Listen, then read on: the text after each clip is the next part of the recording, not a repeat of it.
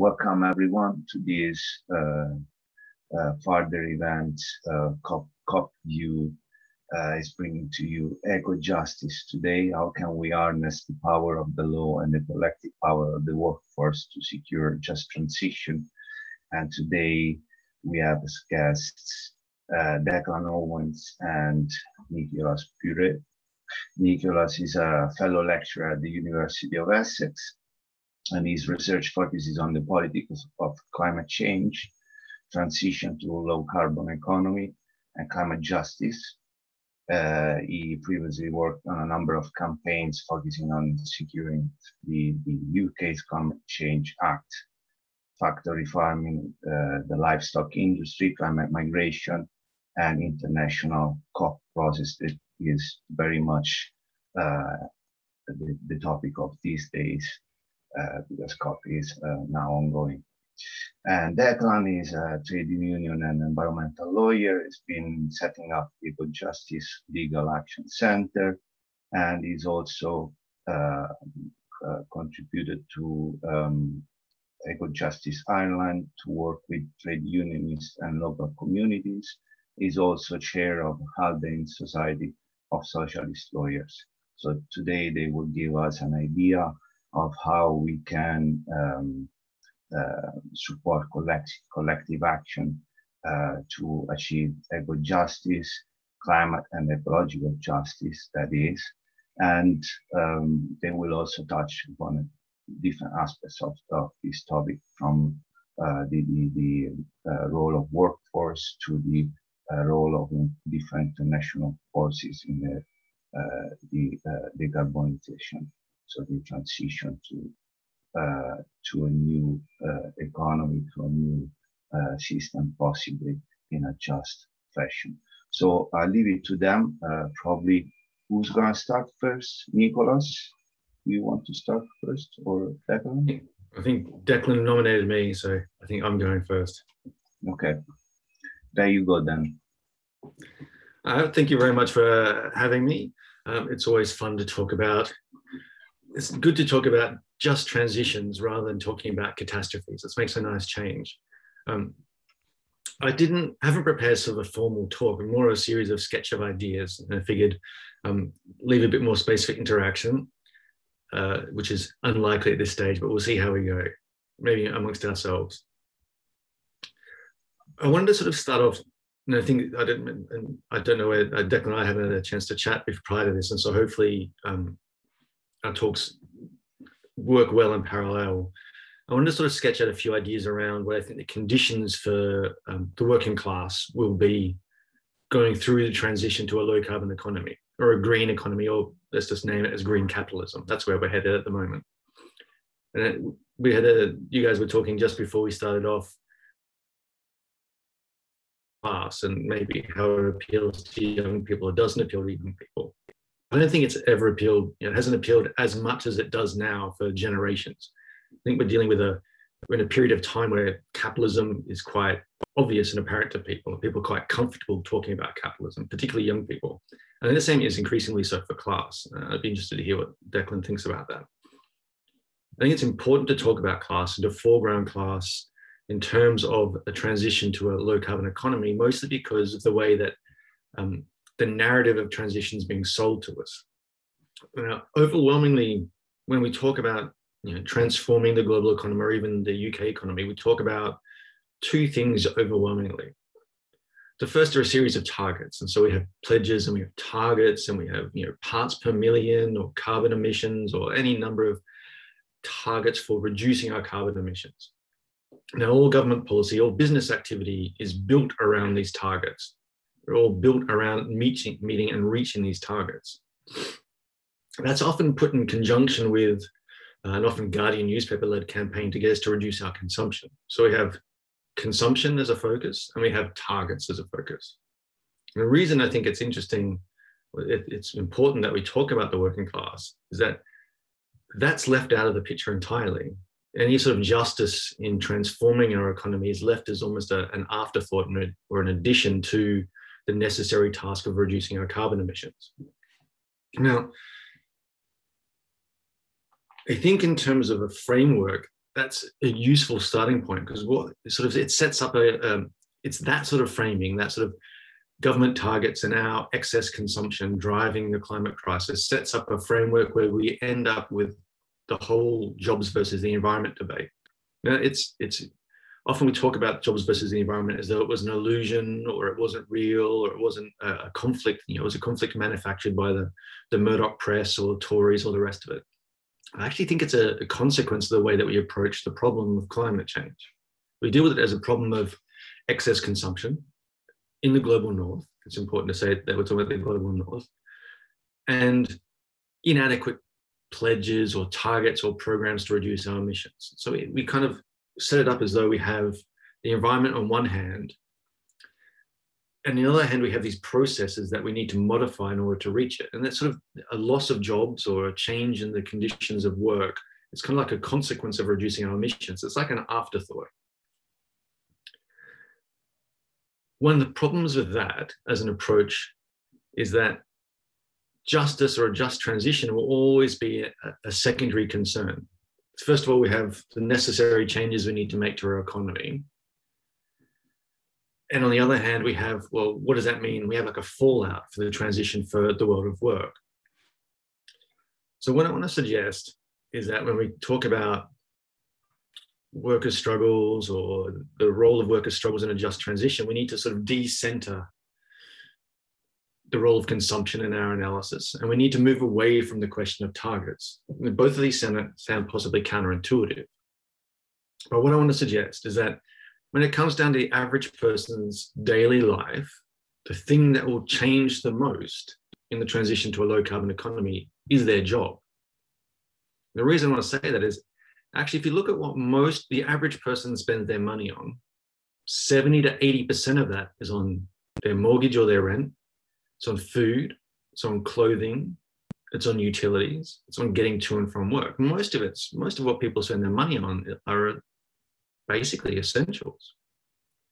Now, the framework of those essentials, we can sort of have arguments around livestock production versus cereal production, home insulation, heat pumps, and all the rest of it most of that is people making the best decisions they can on a limited budget, a budget we have to you know, acknowledge has reduced year on year as real wages have stalled or declined.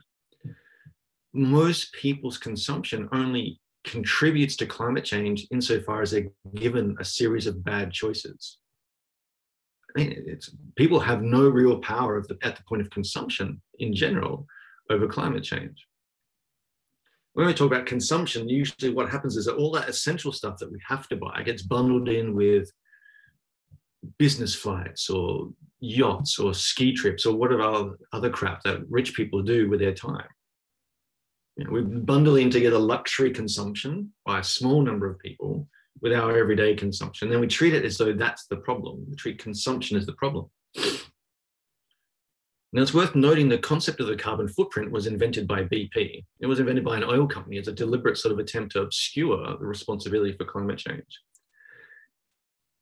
The whole idea of ethical consumption, all the rest of it, it's, it's a nice idea. It's a nice idea for people who overwhelmingly have a high disposable income that they can spend on Aga heaters and SUVs and the rest of it. But that's not really what most of us spend our money on on a day to day level. So when I talk about work being the main thing that would change, is that that's in terms of what we spend our time doing, that's going to be the main experience we have of climate change or the transition. Is not maybe we have a bit less red meat. Maybe we use more public transport. Maybe our car's electric. Maybe our house is better insulated. But overwhelmingly our life will change because our work will change. Now the reason i started out talking about green capitalism and or the transition to a low carbon economy is that we have to also understand that the transition's underway now. We're not we're no longer fighting, well, unless you're in a recalcitrant country, a country like Australia or Saudi Arabia, you're not fighting for the country to transition to a low carbon economy. It's underway in most of the large emitting countries. Most of the countries that count in terms of emissions or the production of CO2, a transition of some kind is underway. Now, what's happening to that transition? What we're talking about is a series of measures, investment measures overwhelmingly, to reduce emissions in certain sectors. So, housing insulation, heat pumps, renewable energy, electric vehicles. Now, it's important to note that most of what's happening is the sort of the, the greening of existing forms of work. You know, what they're trying to do is try to take what we have and reduce the emissions. Now,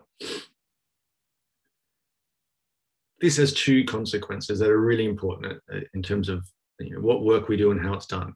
The first is that in terms of dissatisfaction with work, in terms of bullying or violence at work, in terms of overwork or underemployment, in terms of not having enough time to and not enough work you know, in order to meet your needs, zero hour contracts through to gig economy, that's not being transformed into something just or sustainable for people's lives. It's just being greened. So the first consequence of the plan that the government, this government currently has, and many other governments currently have, is they're just greening shit jobs and terrible conditions for the most part. Now, under the guise of wanting to reduce emissions, transforming jobs and sort of to ensure that they're just or improving conditions is seen as an impediment, particularly because of the approach that the government's taken. The, the approach the government's taken is to try to attract private investment, private investment that's then matched with government public funds to ensure that private companies build out the transition of our green infrastructure. Now, this is where the jobs versus environment, like the first sweep through that comes in the idea that you can have good quality jobs, jobs that pay well, that provide security, is put up as a barrier to the kinds of investment that the government's trying to attract. And you know, it's their approach to use, you know, to attract private funding that sets up the jobs versus environment conflict.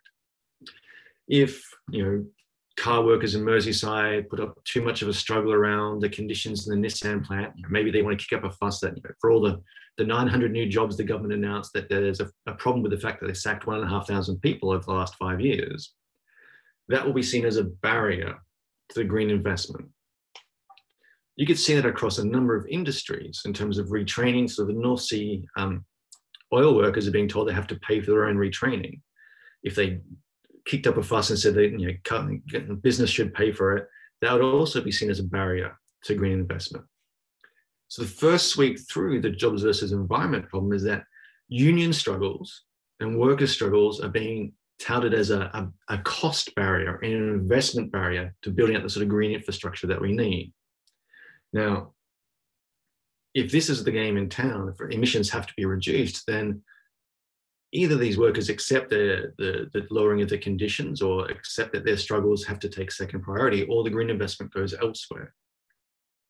So thinking that we can talk about jobs versus the environment as a, as a product of the government's plan to effectively give 26 billion pounds to private companies to build green infrastructure to essentially solve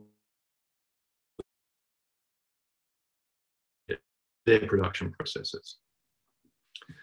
So that's jobs and environment, in, you know, environment in the first uh, first round, and also gives you a sense that how government and industry will like leverage our struggles against us. They'll say, well, if you struggle, then you know, not only you you holding back the transition to the low carbon economy, is that we just won't build it here. We'll build it somewhere else.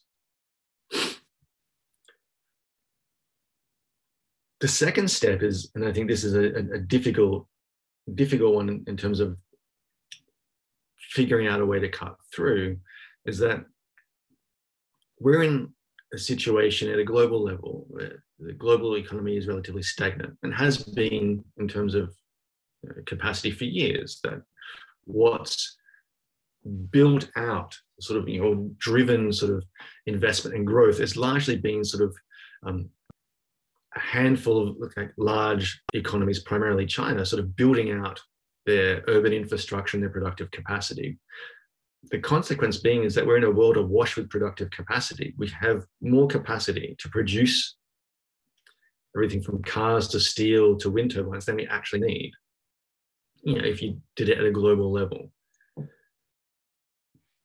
There is at the moment, and it's playing out at international level, a competition between national governments to attract funding. So not only is there uh, a jobs versus environment sort of issue in terms of you know sort of plan like sort of national programs of moving towards net zero. at a global level, there's a competition between countries to attract scarce capital on the understanding that there's, an in, in, there's too much productive capacity.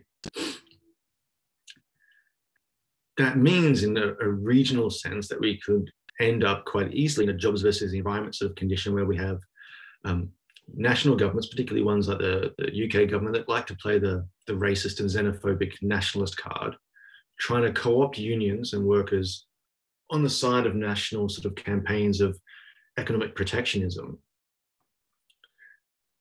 we could find ourselves in a situation where we end up with Brexit 2.0, sort of a re re up on sort of Tory nationalism and you know, dog whistle sort of politics around racism. The reason I think this is another part of the jobs versus environment problem is that one possible outcome to the current transition is that every country builds out green infrastructure, every country builds out green productive capacity that given that you can't entirely green every industrial process, there's always like a 20% left over in terms of emissions that people want to offset.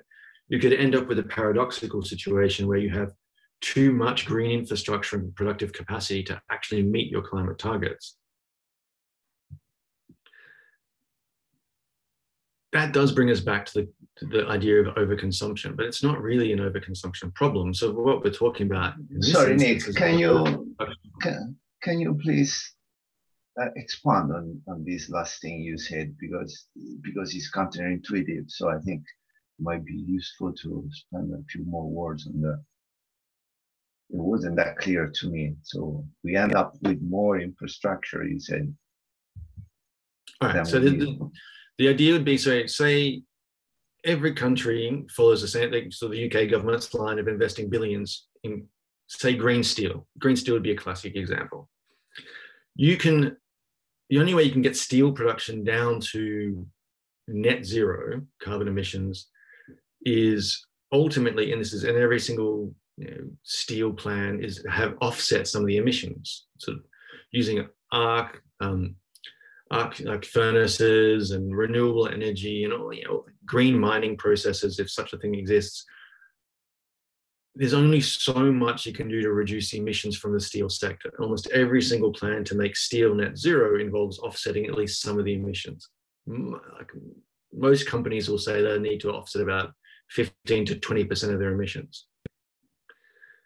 Now, if every country wants to build out its own sort of green steel industry, if it wants to do that in terms of securing its place at a particular part, you know, sort of a particular part of the sort of value hierarchy in terms of global production chains and global industry, it wants to secure investment, it wants to secure economic activity, and ultimately it wants to secure some jobs, even though it may not want those jobs to be unionized or particularly militant.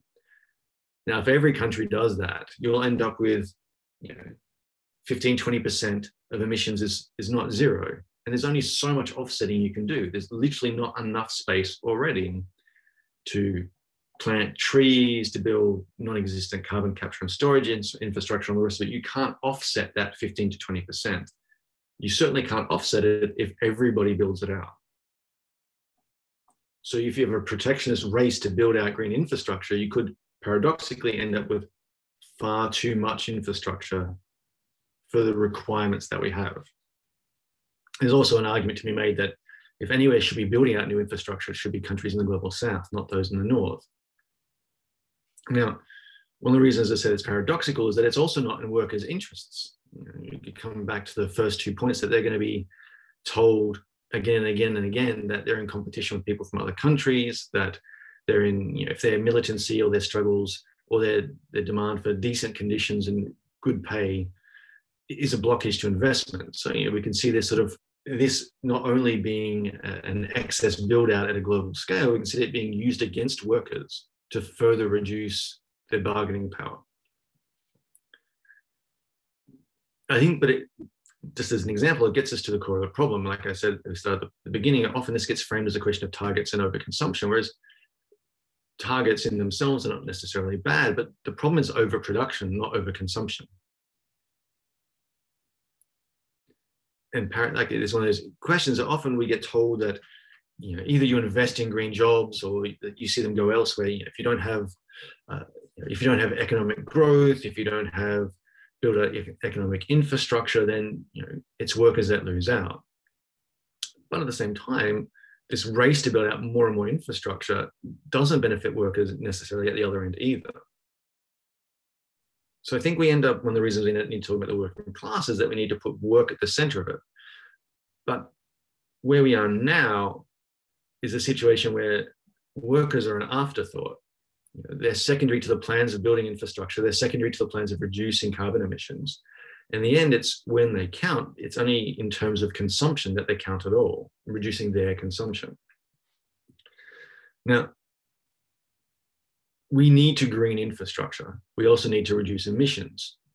Ultimately, and we know this, this is now relatively well established, the only way to do that is to reduce the amount of resources that we're making use of at a world scale. Reduce the amount of energy that we need, reduce the amount of materials that go through the production process. Now, there are ways to do that in a, a more labor intensive rather than machinery and capital intensive way. So we, we could start to reduce the amount that we produce without necessarily reducing the amount of workers involved in the process. If we listen to workers who are involved in these processes, if we actually start to institute a democracy at a shop floor level, at an economic level, something that's escaped us for the last 150 years of democracy. Democracy ends at the factory door or the office door. We have no democracy in the workplace for as David Graeber would say, for 16 hours a day, we're free, and for eight hours a day, we're slaves. We start to introduce democracy and ask the people who know best. We could start to reduce the capital intensity of industry. We could start to reduce the amount of material throughput or even the amount of, that we produce without reducing the amount of workers that we have. That would get us some of the way there without infringing on the, the rights and interests of workers.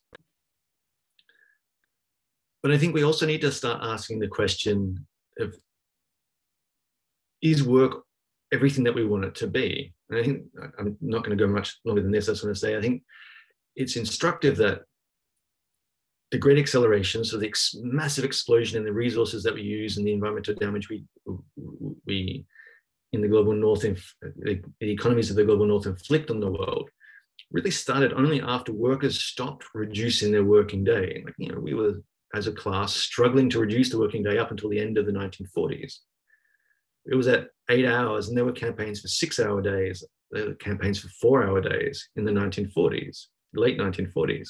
It's only after that, after the compromise between business, state, and big unions, that we started to connect wages to productivity, connect our well being to ever more production and capacity. Workers' struggles had been for a good 80 years connected to, or 100 years connected to reducing the amount of time we spent working. It's interesting in the US at the moment, they've got what they call the great refusal. I don't know if people have been paying attention to it. People just re- refusing to do jobs for minimum wage and for terrible bosses in terrible conditions. And it's been said that this is a, it's not just a moment, it's sort of a, a broader reappraisal of work, that the pandemic has paradoxically enabled people to look at work, to see the conditions of the work and say, no, this is fucked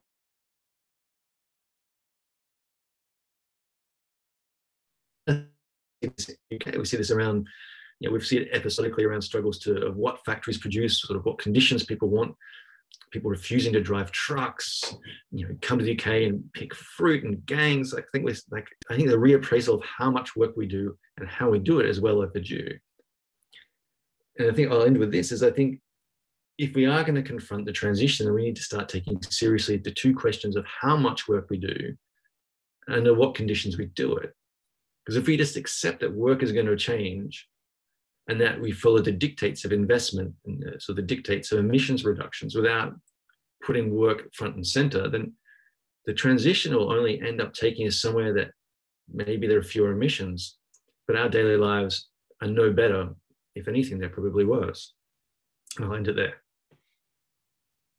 Brilliant. Thank you uh, lots of questions I had in my mind, but uh, I, I, refrain to uh, to ask you anything, and I just pass it to Declan uh, so that we can can contribute to this very interesting discussion. Thank you, and um, thanks, Nicholas. Um, I wouldn't disagree with a word that you said, and I'm not afraid to um, describe myself as a socialist lawyer. Indeed, I'm co-chair of the Haldane Society of Socialist Lawyers. So very much the case that the class analysis is correct.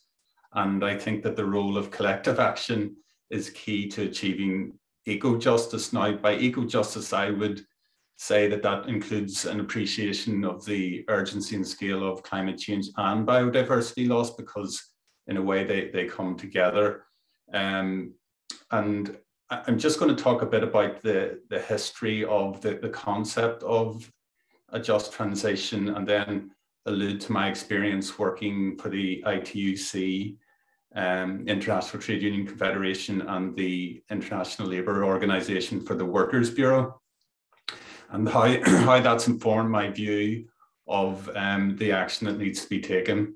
So, to start with a short history, um, I think we need to go back to the Industrial Revolution and look at the way militancy sought to protect workers and communities um, with things like um, air pollution.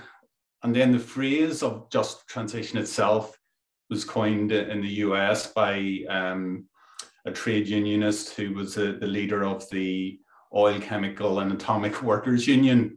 And he worked to bring trade unionists into the the ban the bomb peace movement alongside a campaign to protect workers in the transition to nuclear disarmament. And then you, you have this period where I, I agree with Nicholas, there's this concept of corporatism or the compromise between capital labor and national governments that manifests itself in the Sustainable Development Goals in 2015. And working for the ITUC, I definitely find that the, the, the leadership were um, triangulating at every stage with um, the organizer, the, the, um, the, the organization on behalf of employers. And then you know necessarily the ILO guidelines for just transition towards environmentally sustainable economies and societies for all these guidelines were a triangulation. Now, that's not necessarily a bad thing because you know th- those guidelines are above and beyond what we see in the UK and much of the, the Western world, and they, they're seeking to bring up the standard of living of the, the global South. But it, it's not sufficient. It, it, really isn't for, for all the reasons Nicholas um, talked about. But this movement in, in around 2015, the just transition did manifest in the preamble to the Paris Agreement, where um, it was said that taking into account the imperatives of just transition of the workforce and the creation of decent work and quality jobs in accordance with nationally defined development priorities. This, this was included in the preamble, and there, there is scope to um, develop that because the, the ILO guidelines and they're transposed um, or not transposed in the case of the UK um, in different ways throughout the world. And this sort of caveat in relation to the stage of development that each country is at is, is problematic in, in terms of the way in which workers in the global south are um, constrained by the conditions of global capital. But the, the ILO guidelines focus on the rights at work in, in theory, which include the right to freedom of association and critically the effective recognition of the right to collective bargaining. And according to the ILO and the ITUC, social dialogue is at the, at the core of the just transition. But as, as we know in, in Britain, there's virtually no social dialogue. Although interestingly, during the pandemic, um, there was an enhanced role for the TUC where they, they basically pushed um, for the furlough scheme, and, and that was in an emergency situation. But you know, as we know, if if governments can take action at the scale that they did during the pandemic, the climate emergency can be taken as seriously because, again, as Nicholas said, we're, we're living through it now. So the other aspect of the ILO guidelines is um, social protection you know, ranging from healthcare to income security, old age, unemployment, sickness, invalidity, work injury, maternity, or the loss of a main income earner. Uh, and all of that is, is important to sort of provide the the context in which a just transition can take place. And the, the, the ITUC has a number of demands and they range across to, you know, the workers in fossil fuel industries, um, protecting that, that transition through retraining, redeployment, um, pensions for older workers, and investi- investing in um, in community renewal is is recognized as a key concept, and I'll come on to that later insofar as far as my own work um, is concerned. But the the technological aspect of the transition, again, the, the ITUC have triangulated according to the um, processes that government and capital have identified, and, and that's that's problematic. And you know, I was interested in the analysis that Nicholas had because consumption is an issue. So in a way, we're, we're talking about ownership of the means of consumption as opposed or in combination with ownership of the means of production. And that, that is a, an, an eco-socialist sort of approach. But also when one thinks about the capital approach to consumption, it's facilitated by the monopolies on um, the social media giants and the internet giants, where their, their whole um, premise is based on advertising and the way in which Google, Facebook have their whole um, their, their whole income base used on, on, the way in which um, we all consume too much and advertising facilitates that. So I, I was definitely interested in that contradiction that Nicholas identified. But continuing on with the way the ITUC sees the just transition, you know, they they do want um, investment in decent work, and, and that follows from the ILO guidelines, um, social protection, and then social dialogue in, in every country. And, and then social dialogue underpins the collective nature of social um, action by workers, and, and that should go into the workplace and, and that should be um, democracy at work. And, you know, workers' collective action is, is key to that. So, you know, you, you have to look at the macroeconomic um, policies, um, which includes sectoral policies, and we've lost the tradition of um, sectoral collective bargaining and um, national collective bargaining, which, um, although a compromise um, for the corporatist agenda after the Second World War was effective in, in reducing inequality. Um, and interestingly, Unite under the, the new leadership of Sharon Graham are focusing again on, on the, the leverage that different sectors can bring to bear in the, in the fight for a just transition. Um, but it also involves enterprise policies by governments and skills development um, and, and recognizing, you know, occupational health and safety relates again to um, climate justice, whether it's again air pollution or the, the way in which green reps can um, hold the, the processes of, of production of various um, employers to account. Um, so I think the, the idea of social dialogue and tripartism has its place in the transition, but basically it's not it's not sufficient. So in in my view, um, having worked with the ITUC and the ILO, I I sort of felt that the the concept of just transition included working on a, a local, regional, national, and international basis, and, and that's what I do as a lawyer. So um, I, think whenever you look at a just transition, um, and traditionally the, the contrast is with the the miners in um, Britain and the, the way in which their communities were devastated by the lack of planning and the lack of a just transition. I, I think that communities are at the heart of it, and in terms of the processes of achieving that, um, there is a way in which we can reconceive the relationship that we have of nature. And this is where, you know, I think eco justice is a better concept than climate justice because there, there's a growing movement to secure rights of nature as a legal concept. so that would mean um, a mountain could sue a mining company, for example, or um, an ocean could, could sue um, oil exploration.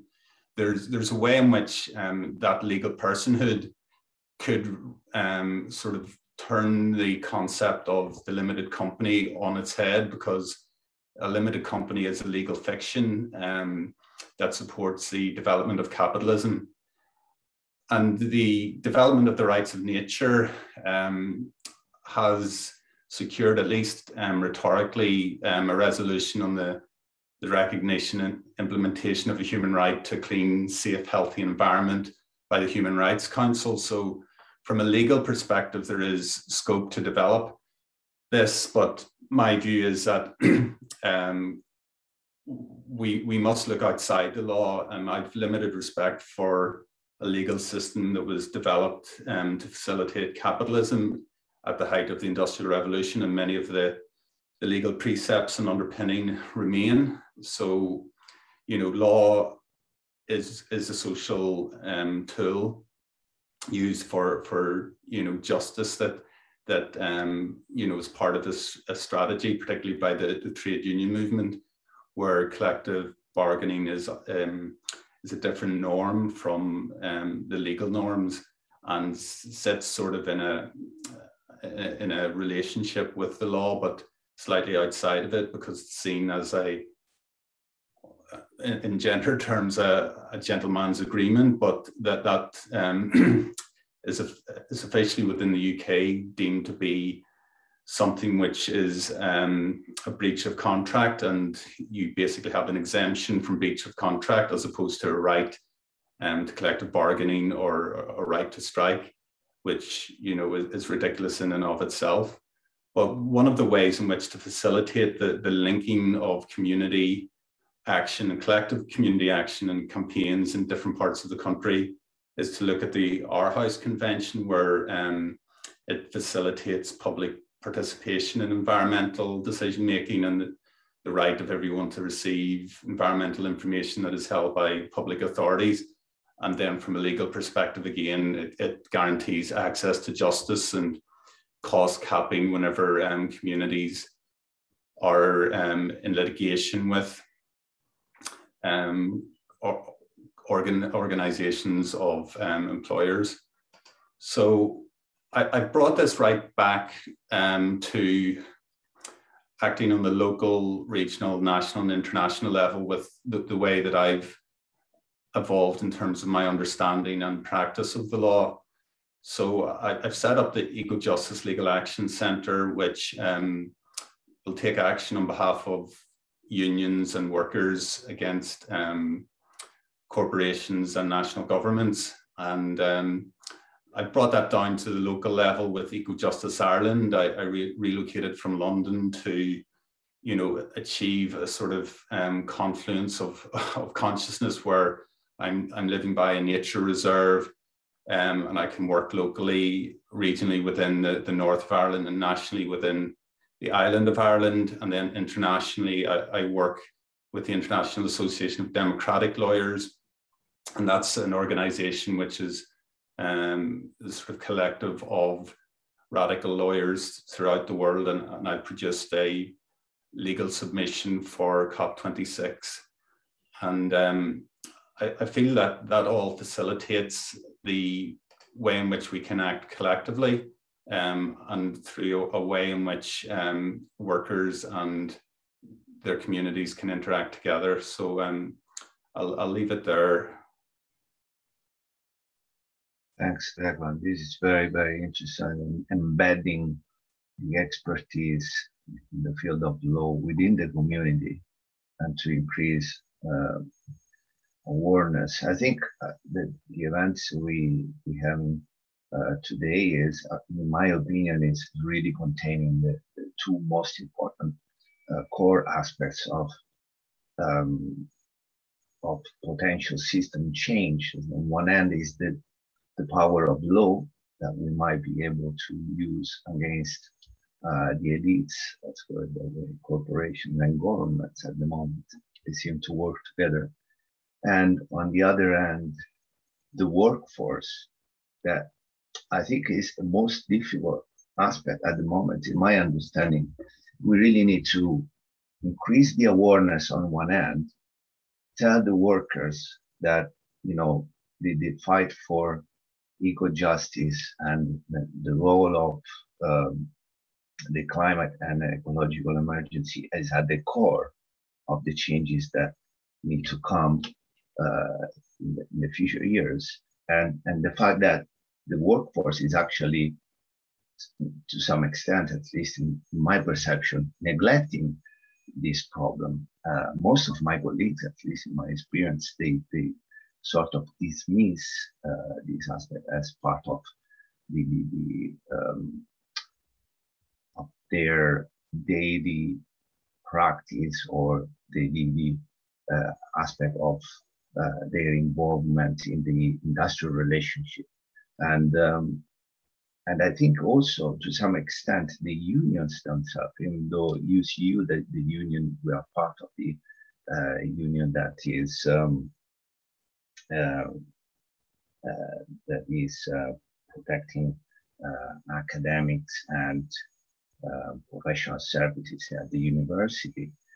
Um, is, is, is one of those that is more active to this respect. I think is still not as focused on the, the, the, role of the climate and, and, ecological crisis as central aspect of the fight and central aspect of the industrial relations.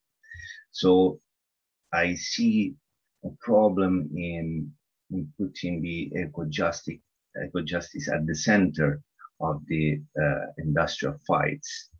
Uh, I see a problem in mobilizing workforce and, and making them understand how this is, is crucial, because as Nicholas said, um, there, is, there is a trade-off that has been uh, put forth by uh, the, the, leadership that if you if you want uh, changes that are um, for the environment, then you're gonna then you're gonna you're gonna have less uh, in terms of uh, satisfying your rights in the, in the workplace. Um, so yeah, I, I, I struggle to put together um, these things, and when also also when Nicholas said uh, we have a problem with overproduction not with overconsumption. Um, I agree that we have a problem with overproduction, but I also feel that we have a problem with overconsumption. And people have been literally raised in this uh, culture of overconsumption. And then all of a sudden, you ask them to consume less. Uh, I don't think if you start producing less, then they, will they will still, you know, they will comply and consume less regardless. So, I mean, I'm putting this there just for for discussion. Uh, I don't know if James wants to add anything else. Feel free to answer as well, Nicholas. I just wanted to jump in on the. Um, I suppose just just want to make two quick points. I think I think in the first instance that we have to like, I think what I, what I I think it came out through Declan's talk really well, is that we have to like sort of in some sense we need to talk about in who in whose interests. You know, I think that was really nicely made in terms of like, you know, there's lots of different interests at stake in terms of, you know, we can talk about oceans and rivers and people and workers and consumers and all, all the rest of it. But I think for my mind, the, the, the tension between jobs and the environment is often it's a question of I wouldn't say complicity, but of workers' interests being treated as secondary to the interests of industry, whether it's industry in transition or industry as it is. I'll just give you a quick example. So I live on the River Stour, so I live in the countryside. And the River Stour, where I am, am just outside of Colchester, like every weekend, you know, the working class from the region get their kayaks or their paddle boards or just come swimming in the river there's a huge number of people come swimming in the river. like to the point where the rivers are choked with people. Everyone's out there enjoying the countryside. And the working class around here are always in the countryside. You know, this is, you know, they enjoy it as much as anybody else. Now that that river, every time it rains, gets flushed with sewage. Like so, there's a direct relationship between the interests of the working class in this region and the health of the river and the health of the environment. They're the ones who get sick, they're the ones who suffer. When we talk, I think the, we need to emphasize overproduction because it's we already, as we all know, there's an endless number of ways, even at a really simple level, we could reduce the inefficiencies and wastes of production processes that are that exist. Let's be clear, these the waste exists because it's cheap and it makes it cheap to produce things. We could fix those inefficiencies and reduce massively the impact of most industrial processes on the environment. It just drives up the cost of production. I think the workers' interest here is separate to the industrial interest. It's not in the workers' interest that their labor is devalued. It's not in their interest that there's polluting industries. But the way that capital and government sets it up is that they try to force the, the situation where it's either you have a job that pollutes or you have no job at all. I think that's something to be resisted. Right? In terms of consumption, like I think it's interesting. I'm doing some work on this at the moment. I think it's really interesting that sort of huge components of what we think of as everyday consumption are actually going to housing bubbles or capital expenditure or actually like you know a third of a household expenditure goes on cars which we think of as things that people use for recreation. But you know if you take the average car owner in the uk drive spend 77 minutes in their car every week. It's not that much. 66 minutes of which are driving to and from work. The, the other 11 are going to the supermarket. If people had the option of decent public transport would they really want to spend a third of their income on a, a chunk of metal they don't really need. Okay. I think we've got to be careful here when we talk about like, you know, how much choice do people really have? And is it in their interest to spend their, you know, their hard-earned money on stuff to get them to and from work? I think we need to be careful here when we're talking about interests, is all I'd say. I think until that, that there is a greater connection for people to understand how this transition it can support new jobs and how, how crucial it is that um, we, we place um, democracy in the workplace at the heart of this transition. Um, it, it's just it's, it's very hard for people to, to, to make these these links. I, I, think this dialogue will start to happen. More people will become more familiar with, with these terms when they see the implications for their workplace. So if, if we have these discussions about what net zero is, what it means for the company I work in or the, the company my friend works in, people will become a lot more knowledgeable about these terms and then be, be able to act on them. I, I wondered if you had had anything to act uh, to, to, to add to that. Is that something that, that you would agree with, that people will sort of gain knowledge about what this transition is just by the process of democratization, or maybe I've, I've missed the point on, on something there? I think I think you're like I think what will happen is as workplaces are transformed, I think it will open up the question of the purpose of the job or the purpose of purpose of work at, at all. And I think we're living in a period where work is coming to question again, and that can only be a positive thing. Ultimately, I think there's going to be uh, have to be a conversation to be had around how do we reduce working hours? How do we ensure that there is access to uh, um, just and secure and fair forms of work for most people in a world where we need to re- overall reduce levels of production. So I think in my mind, the, the just path there, the sort of the, the eco-socialist path is towards a shorter working week, to democracy in the workplace. And I think what we produce and how we produce it, under what conditions we produce it, will only become a, a more common workplace topic as people start to ask what's the purpose of their job I think that's a positive thing. I think there are reactionary ways that can go in terms of sort of circling the wagons to defend industries from all criticism. It can be complicity, often at a sort of a, a very senior level, sort of in unions, or you can have quite right-wing workplaces. Workers don't. You know, workers have a, a spectrum of political opinions, or you can have quite progressive workplaces. Uh, my my personal bet is that the less professionalized a workforce, the, um, the more radical they, the possibilities for that workforce. I think professionalization tends to lead to conservative political views, which might explain some of our UCU colleagues. But that could just be my um my bias. But I would hope so. Thanks very much. Um, and um, Declan, I wondered if I, if I could ask you to, to talk a bit more uh, about this submission of COP26 through the International Association of Democratic Lawyers. That, that sounds very interesting. Yes, so um, the submission was, I guess, my initiative um, based on um, my understanding of international law, but also the work that I'm doing with the Campaign Against Climate Change Trade Union Group and the COP26 Coalition. So the COP26 Coalition um, is trade union led effectively. Um, it involves civil society groups, and they've made you know, quite radical demands of um, the COP26 um, states parties.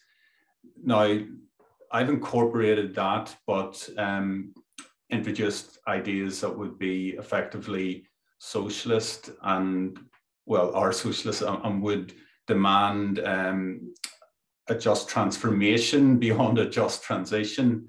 Um, you know, it would be ownership of the means of production, um, the, the, means of consumption in, in a way, as well as I, I alluded to earlier. But again, I, I, I feel the law is limited. Um, you know, the real impetus is the latent power of the, the trade union movement and, and workers. Now, I, I definitely accept that there's conflict within the, the trade union movement and within, say, Unite and the GMB in particular, where some of us were campaigning against the expansion of Heathrow and, and others were celebrating whenever the Supreme Court didn't um, allow the initial success to um, persist. And um, the GMB, so I, am a member of um, three unions, but the GMB um, we have this group GMB for Green New Deal, and the GMB leadership, you know, treat us with um, disdain, particularly in relation to the nuclear industry, defence, and um, fossil fuel extraction um, industries. So um, one initiative that I've come up with um, is to set up my own union branch, which um, is part of the Unite Community. Um, and Unite Community is mainly for people who are students, um, unemployed, or retirees. And I, have set up a Unite Climate Justice um, branch. And that is, is, a way of trying to fuse the community with the workforce insofar as um, Unite Community can be on the picket lines with the workers and show solidarity there, but particularly in um, communities where um, there, there is a need for just transition and, and there's a, a tight link between the, the, the, workforce and the local community, then it can um, bring that sense of solidarity and to be honest, step outside the restrictive trade union laws. But um, in essence, I, I feel that the law, whether at a national or international level, is not as effective as workers' power um, whether that's a general strike in India or, you know, the, the way in which the, the great refusal, um, as Nicholas alluded to, can have a, a knock-on societal impact. Thanks very much. Um, may, maybe we could put some links to, to some of these topics in, into the chat um, to, to, go with the recording and to share more widely. Um, so about the submission and um, the, the, the, great refusal, that's something I've not really he heard of before. I've heard of the I think it's the, the lie flats movement in China. Does it have parallels to that? Is it a similar idea or are there some differences? Perhaps we, uh, sorry. It's just oh, quite literally the name they've given to um, the last like two, three months of activity in the work. It's sort of large in the hospitality retail sector in the US, um, post like sort of down the winding end of the pandemic, but it's also um, there's a fantastic Reddit thread. It's called anti-work, it's like the, anti-work thread on Reddit, um, which is people posting conversations they have with their boss over the last couple of months, like the screenshots on Reddit. It's quite it's quite entertaining to see what's been happening.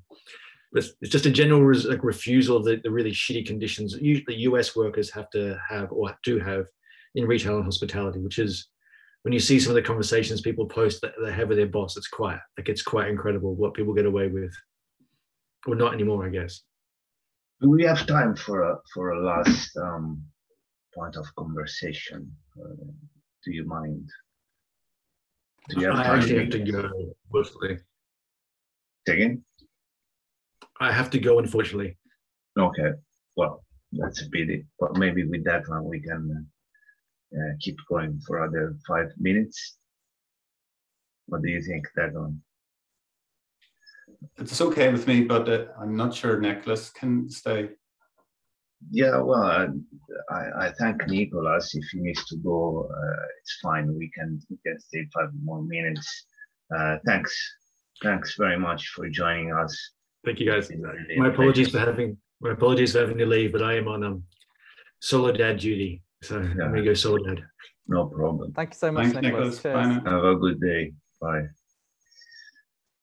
Yeah. So my my last uh, point of conversation. Uh, I, um, is related to Scientist Rebellion, uh, which is an organization, as you probably already know, that um, is is um, is very much active alongside uh, other groups like Extinction Rebellion, and one of the core demands is this that this just transition we've been talking about um, will happen through uh, degrowth as a mechanism. And that besides that, there will be a redistribution of wealth in order to achieve this um, uh, just transition. What do you think about this? Do you think know, knowing what you know uh, as an insider in, in the trade union movement, do you think is something that is realistic, and is possible? Well, um, I think it's necessary um, and it is possible. It, you know, it requires political will and um, understanding and, and, education because I think, you know, we all saw where the um, Insulate Britain protesters were in conflict with certain people going to work. And, you know, that's, um, you know, a question of lack of understanding of the emergency that we're in, I feel but that, that is related to the, the need for degrowth um, in a way that um, Nicholas referred to as well. So I think that we, we need um, a general reduction in our um, GDP or standard of living, so perceived, in the sense that um, you know we should have a, a four day week or less, and the way in which that um, translate is to hopefully have a, a rising standard of living in, in the global south. Um, because you know we, we do over consume and we, we do overproduce.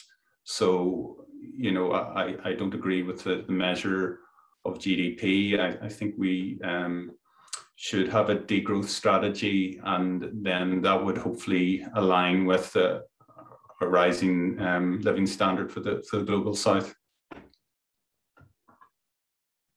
I think it sounds like like it. We can wrap it up.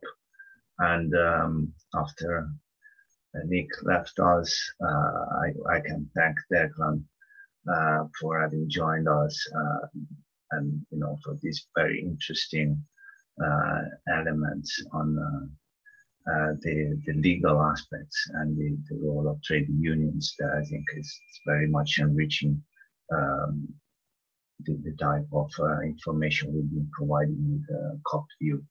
So thanks very much, Devlin.